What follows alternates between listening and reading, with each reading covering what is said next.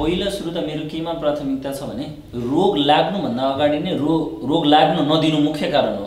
त्यस कारण चाहिँ हामीले पहिला सुरु चाहिँ आफूमा के जागृत हुनुपर्छ भने भोलि हामीलाई केही रोग लाग्छ कि भनेर हामीले पहिला नै हामी पहिला नै सूचना प्रभाव भएर कुनै हामी चेक जाँच गऱ्यौँ घर दैलो प्रोग्राम गऱ्यौँ महिनाको एकचोटि तपाईँको वृद्ध वृद्धाको चेक गर्ने शारीरिक समस्याहरू के के छ सबै सङ्कलन गर्ने युवा पिँढीको बाल बच्चाको एउटा क्याम्पेन खडा गर्ने महिना महिना वाइजमा।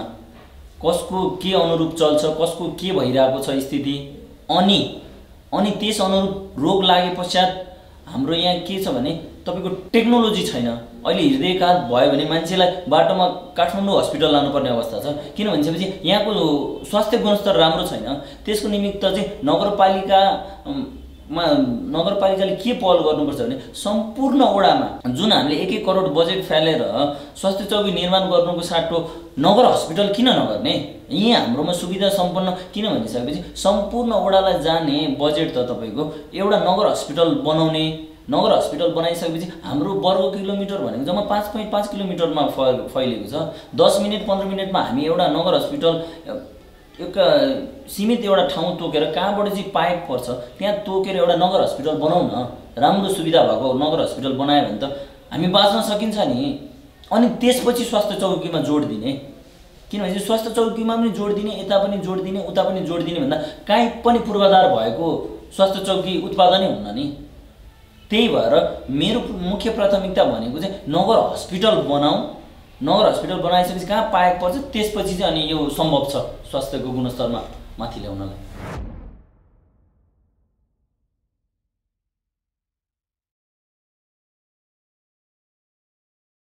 अब यो स्वास्थ्य भन्ने कुरा चाहिँ यो चाहिँ जनतालाई सधैँभरि पिरोलिरहने कुरा हो कि?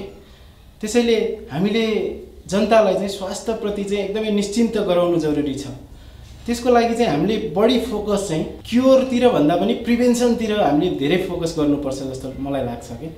र त्यसको लागि चाहिँ हामीले के गर्ने भने हाम्रो जुन वडाहरूमा जुन स्वास्थ्य चौकीहरू छन् तिनीहरूलाई हामीले सुविधा सम्पन्न बनाउनु पर्छ त्यहाँ अहिले त स्वास्थ्य स्वयंसेविकाहरूले काम गरिरहेको छन् भने हामीले त्यहाँ नर्स राख्ने होइन मेडिकल अफिसर राख्ने त्यसपछि ल्याब टेक्निसियनहरू राख्ने गरेर हामीले अलिक सुविधा सम्पन्न स्वास्थ्य चौकी बनायौँ भने त्यहाँबाट प्रिभेन्सनको चाहिँ पाटोमा धेरै काम हुनसक्छ। र अन्य कुरामा चाहिँ जस्तै ज्येष्ठ नागरिक गर्भवती महिला अशक्त अपाङ्गहरूलाई चाहिँ हामीले घर दैलोमै स्वास्थ्य परीक्षणको सेवा दिनुपर्छ। होइन?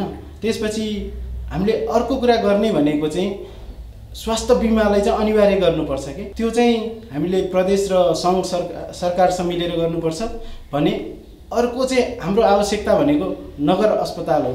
ज जस्तो तपाईँले भनिरहेको समस्यामा चाहिँ त्यो नगरपालिकाले मात्र गर्न सक्ने अवस्था छैन होइन? त्यसको बजेटको कुरा हुन्छ भनेपछि हामीले नगर अस्पताल निर्माण गर्नुपर्छ तर त्यसको लागि चाहिँ हामीलाई प्रदेश र सङ्घ सरकारको सहयोग चाहिन्छ।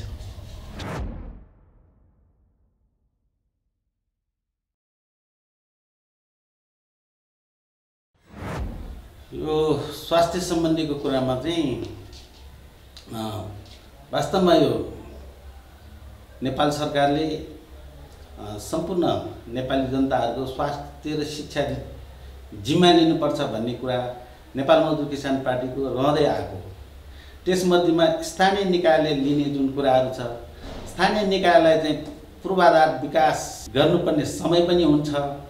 त्यस कारणले अहिले तत्कालको लागि हामीले त्यस्तो ठुलो किसिमको गर्नु नसके तापनि जुन अहिले हाम्रो स्थानीय निकायमा भएका हस्पिटलहरूलाई नगरपालिकाले समन्वय गरेर गुणस्तरीय सेवा दिने जनतालाई सुविधा पुग्ने किसिमको एउटा अहिले तत्कालले चलाउन सकिन्छ भने भावी आफ्नो योजनाहरूमा चाहिँ जस्तै स्वास्थ्यको लागि नगरपालिकाले एउटा आफ्नै नगरले स्वास्थ्य स्वास्थ्यको लागि जनतालाई स्वास्थ्यको पहुँचमा पुर्याउनुको लागि हस्पिटलको सुरुवात गर्नुपर्छ।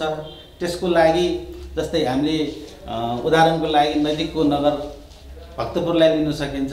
अहिले भक्तपुरमा जनस्वास्थ्यको नाउँमा उहाँहरूले सेवा दिइरहेको झन्डै दैनिक पाँचदेखि छ सयजनालाई सेवा दिनुहुन्छ भनेदेखि अहिले खोप अस्ता अस्पताल जुन चलाउने तयारीमा छ एक सय कति एक सय चान्चुन एक सय बिस सय कतिको छ त्यस्तै गर्दा हामीले पनि त्यही अनुपातले सिकेर चाहिँ बनेपा नगरले पनि एउटा चाहिँ जनतालाई स्वास्थ्यबाट चाहिँ वञ्चित नहुने किसिमबाट योजनाहरू अगाडि सार्नेछौँ र हामी हामी त्यो ठाउँमा जुन नगरमा हामीले प्रतिनिधित्व गर्नु पाएको खण्डमा हामी त्यसलाई चाहिँ पूर्णता दिनेछौँ स्वास्थ्यको लागि जनतालाई सेवा पुर्याउनेछौँ।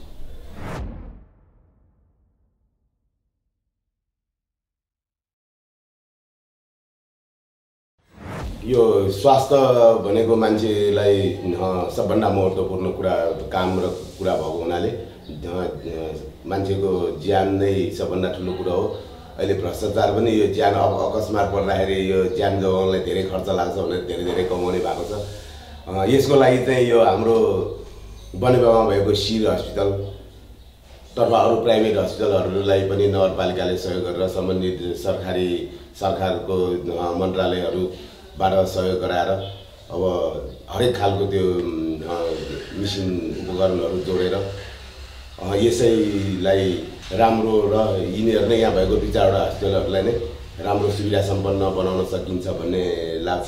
त्यही अनुसारको काम गर्नु प्राथमिकता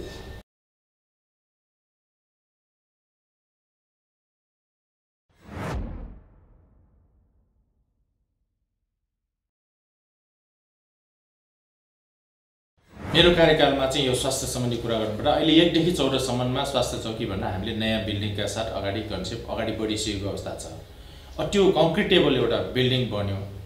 त्यसभित्र चाहिँ स्पेसलिस्ट डक्टरहरू राखेर अरू एटलिस्ट डेली सुगरका पेसेन्टहरूलाई ब्लड प्रेसरका पेसेन्टहरूलाई फ्री अफ कस्टमा चेक गर्ने र एभ्री सिक्स मन्थमा चाहिँ अब हेल्थहरू चेक गरेर ओभरअल जनरल चेकअप गरेर त्यो बानी बसाल्ने काम चाहिँ गरिन्छ। यो गर्नुको मतलब के भने म चाहिँ ठुलो हस्पिटल खोलेर त्यहाँ हस्पिटलमा चाहिँ कोचाकोच पेसेन्ट्सहरू होस् भन्ने चाहिँ मेरो कन्सेप्ट छैन। ठुलो हस्पिटल बनाउन जरुरी नै छैन। यदि हामी सानो सानो हेल्थ पोस्टबाट चाहिँ त्यो सर्भिस दियौँ भने।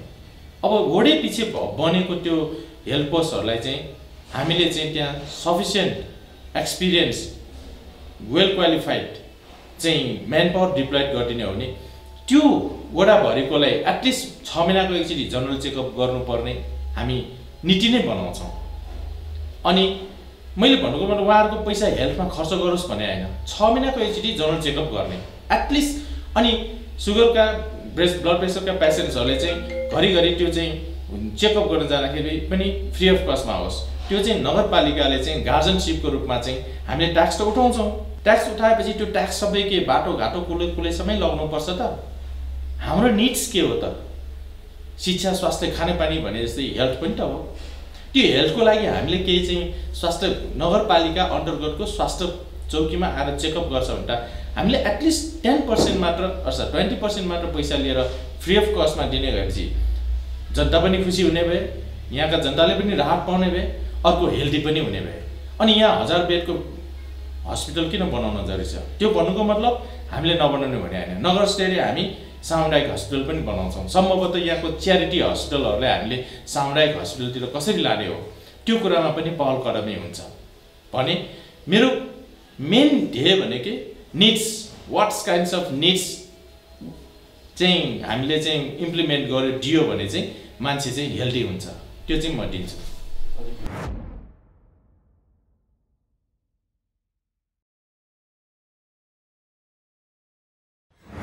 एकदमै संवेदनशील कुरा हो। हामीले गएका वर्षहरूमा कोभिड नाइन्टिनको प्रकोपबाट भोगेर पनि हामी घर घरमा व्यक्ति व्यक्तिमा टोल टोलमा र समग्र नगरमा एउटा जुन भयावह अवस्था हामीले भोगिसकेका छौँ त्यो मात्र होइन।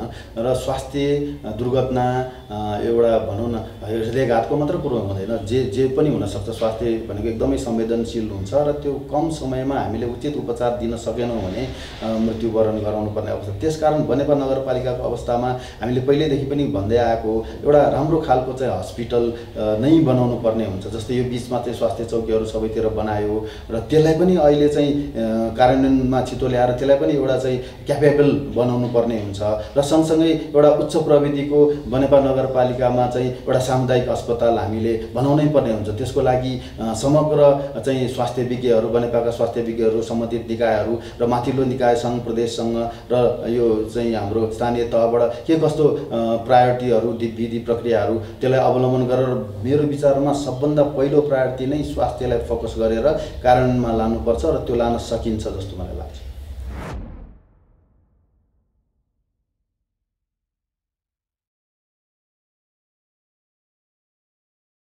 स्वास्थ्य सेवा अब जतिसुकै ठुलो राम्रो भए तापनि फेरि नयाँ नयाँ प्रविधिहरू नयाँ नयाँ रोगहरू आइरहेको अवस्था छ।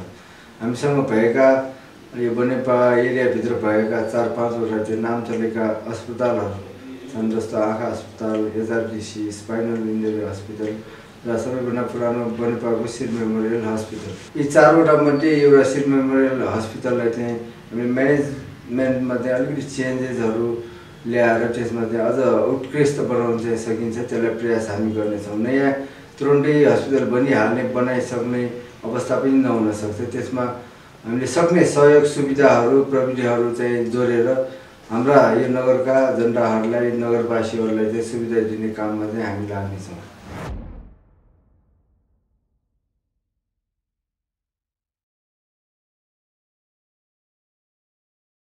सबभन्दा पहिले त बनेपा नगरपालिकामा अत्याधुनिक सुविधा सम्पन्न एउटा नगर अस्पतालको चाहिँ योजना ल्याएको छ मैले।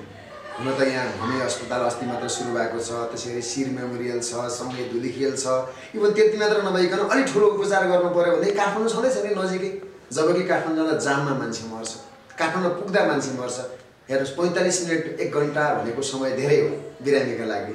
होइन भएको कारणले गर्दा बनेपा नगरलाई हाम्रो पचपन्न वर्ग क्षेत्रभित्रकै सडसठी हजार जनताको लागि त्यति मात्र नभइकन बनेपामा अन्य जिल्लाबाट बसोबास गर्ने यहाँ कर्मथलो बनाएका मानिसहरूको लागि पनि छ। बनेपामा यति बेला एक लाखभन्दा माथितिर आबादी छ। ती सबैको विकासका लागि हामीले काम गर्नुपर्छ। बनेपाको नगरको लागि यहाँका चाहिँ भोटरहरूको लागि अथवा यहाँका चाहिँ नागरिकधारीको लागि मात्र होइन। बनेपामा आफ्नो कर्मक्षेत्र बनाएर बनेपालाई आफ्नो कर्मक्षेत्रको रूपमा वर्षौँदेखि कहाँ चाहिँ यहाँ कर्म गर्नेहरू व्यवसायिक कर्म सामाजिक कर्म त्यसै गरी तपाईँको चाहिँ संस्थागत कर्म गर्नेहरूको लागि पनि उद्देश्य बोकेर सबभन्दा पहिले नगर अस्पताल बनेपा नगरपालिकाको आजसम्म एउटा पनि एम्बुलेन्स छैन। यो लाज मर्दो कुरा हो। सबभन्दा पहिले नाला क्षेत्रलाई एउटा एम्बुलेन्स बनेपा क्षेत्रलाई एउटा एम्बुलेन्स। र एउटा एम्बुलेन्स चाहिँ हाम्रो बाँसडोल लगायतको चाहिँ आशापुरे क्षेत्रलाई। तिनवटा एम्बुलेन्सको आवश्यकता छ बनेपामा त्यो पनि नगरपालिकाको आफ्नै एउटा दमकल एउटा सब वाहन यी मेरो चाहिँ प्रायोरिटीमा पर्छन् र सबभन्दा पहिले अत्याधुनिक सुविधा सम्पन्न हामीले यहाँ अस्पताल बनाउने र जुन स्वयंसेवक छन् नि त्यो स्वयंसेवकलाई पनि हामीले चाहिँ तालिम दिएर उनीहरूलाई केही न केही कम्तीमा पनि तपाईँ एम एम्बुलेन्स चलाउने ड्राइभरलाई पनि थाहा हुनु पऱ्यो कि बिच बाटोमा यदि इमर्जेन्सी केही भइहाल्यो भनेदेखि चाहिँ हामीले कस्ता खालका चाहिँ आपतकालीन तपाईँको चाहिँ सेवा त्यहाँ दिन सक्छौँ।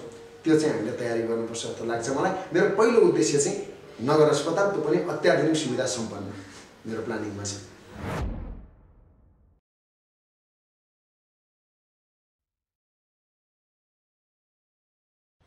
आधारभूत आवश्यकता अन्तर्गत पर्ने स्वास्थ्य सेवा नितान्त रूपमा सरकारको दायित्व हो।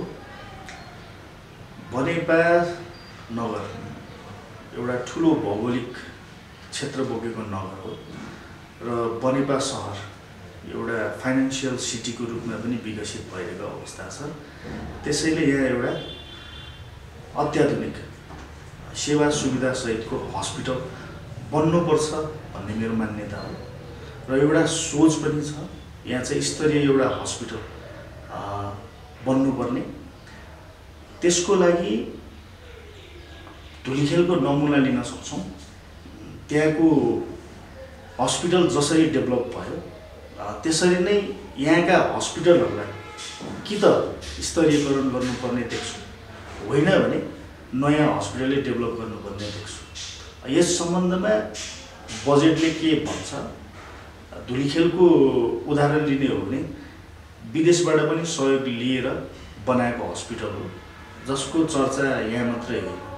विदेशमा पनि छ। त्यही स्वरूपमा बनेपामा एउटा नमुना हस्पिटल बनाउनुपर्छ।